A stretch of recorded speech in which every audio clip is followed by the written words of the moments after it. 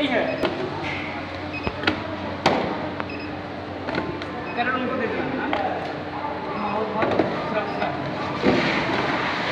हाँ? नीचे का बटन होगा ना उठाना। मत देना ठीक? मत दे बटन मत देना। ज्वाइन दे देना, ज्वाइन। ए